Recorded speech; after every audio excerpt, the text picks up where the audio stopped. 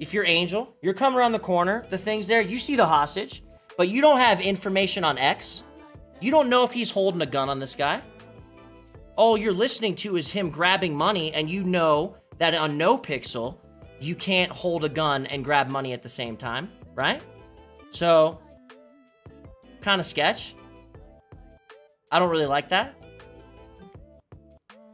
I feel